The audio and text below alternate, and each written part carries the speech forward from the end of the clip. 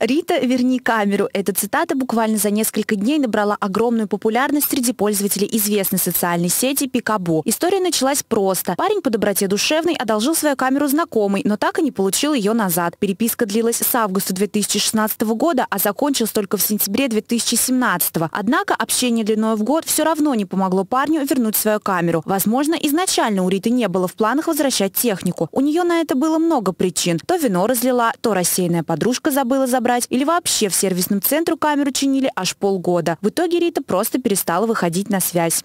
Через 4 месяца я уже понимал, что случилось, но терпение мое всякого, когда мне сказали приблизительно следующую фразу, написали. Денег нет? А, Дима, я тебе верну деньги, когда деньги будут. Денег нет. И написывай мне каждый день. Это после того, когда у нас крайний срок денег, там чуть ли был не в мае.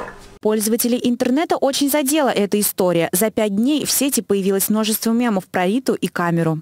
Так получилось, что благодаря этой истории очень много людей вернули свои деньги. То есть прямо на пикову там люди отписываются, что буквально скидывали этот пост должникам, и все, и деньги возвращали.